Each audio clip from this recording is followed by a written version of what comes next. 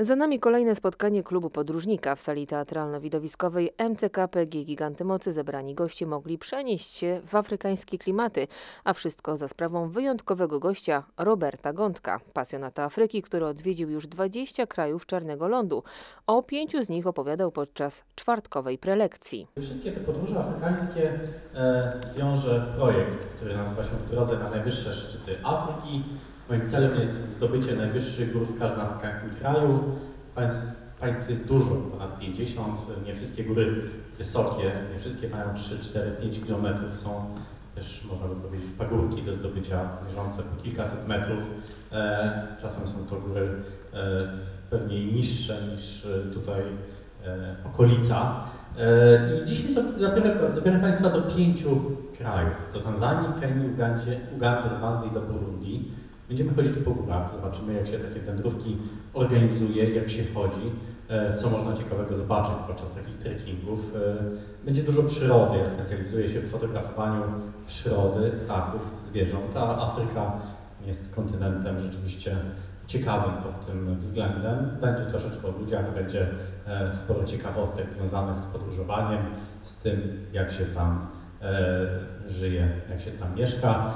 Dzięki takiemu spotkaniu mogliśmy oczami wyobraźni zobaczyć Kilimandżaro i Mount Kenia, a na szczycie Mount Meru obejrzeć wschód słońca. W drodze na najwyższe szczyty Afryki, projekt, którego celem jest zdobycie najwyższych gór w każdym afrykańskim kraju. Tych państw jest dużo, tak więc projekt jest e, rozłożony na wiele, wiele lat.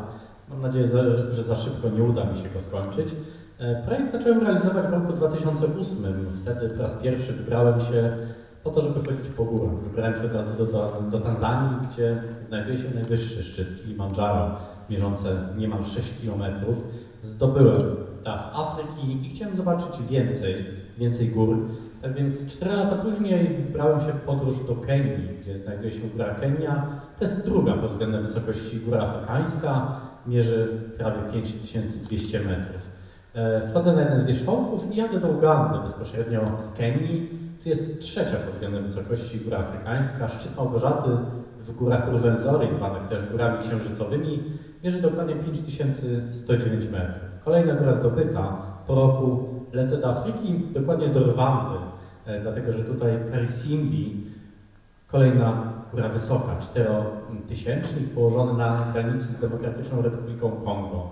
Z Rwandy jadę do Burundi. W Burundi jest nieco niższa góra w porównaniu z dotychczasowymi. Nazywa się Hecha. Ma troszeczkę ponad 2600 metrów i wchodzi się na nią dość szybko. To wejście zajmuje mniej więcej godzinę.